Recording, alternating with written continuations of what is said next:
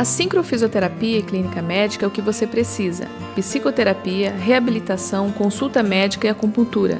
Venha para a Syncron. Agende seu horário pelo fone 3672 2278.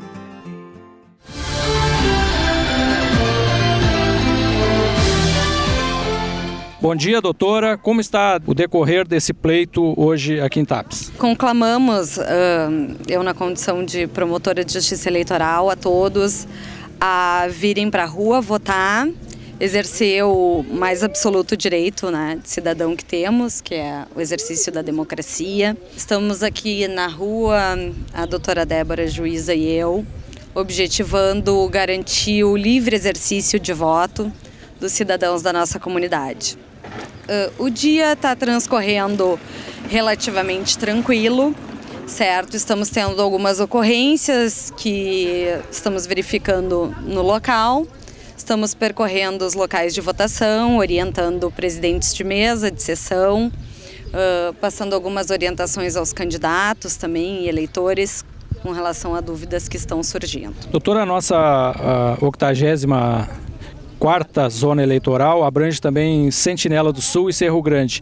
Como é que é, é, uma promotora, uma juíza eleitoral para cuidar de tudo isso?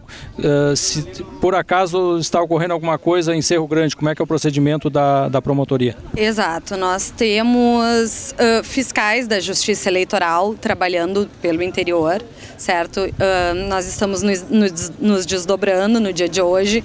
Agora de manhã estamos aqui na cidade de Tapes, à tarde vamos vamos fazer o circuito do interior também. Uh, retornaremos, enfim, estamos circulando por todos os locais de votação da 84ª Zona Eleitoral. Uh, eu disse e repito aqui que os fiscais da Justiça Eleitoral hoje são os nossos olhos e os nossos braços por todos os locais de votação.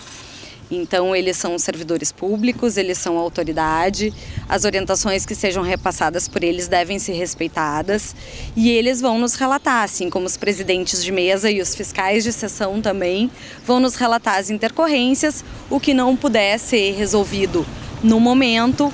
Posteriormente, vão ser tomadas todas as providências legais e judiciais cabíveis com relação às ocorrências registradas.